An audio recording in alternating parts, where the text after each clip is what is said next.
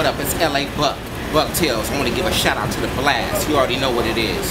You know, I'm that motherfucker that hooked up Ray J with Kim Kardashian. If it wasn't because of me, the original Young Buck from the West Coast, Ray J wouldn't even know Kim Kardashian. You know what I'm saying? I'm that, I'm that, I'm that go-to guy. You dig?